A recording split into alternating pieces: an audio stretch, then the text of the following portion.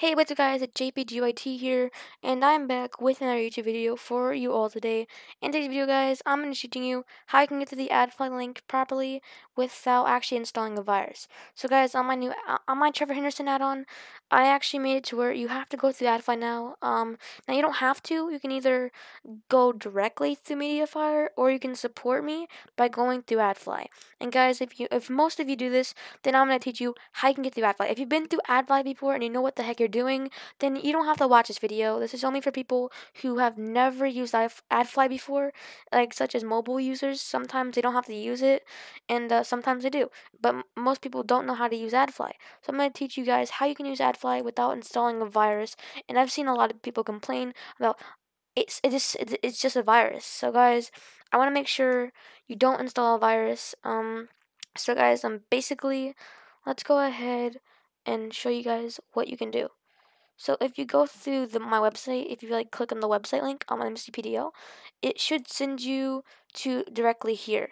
And guys, once you're here, you're going to want to click on the photo. And it will send you to the add-on. Well, not exactly. It'll send you through AdFly.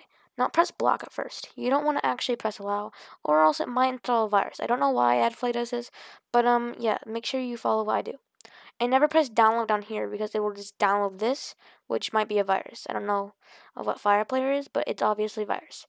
Now you're gonna gonna press skip ad. After you do that, close that link that was um before there. Now press block. Block. And it will only do this three times. If it does it um four it shouldn't it shouldn't it shouldn't do four it should only do three or two. Um so guys as you can see um this is the link. If, if you don't have like the automatic feature to actually do this you're just gonna want to copy and paste the link right there.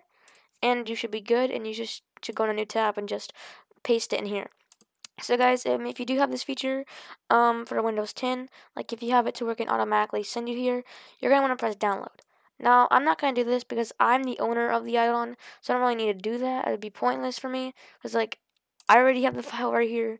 So guys, um, basically, I don't need to do this, but if you guys want to get it yourself, you're going to have to press download right here.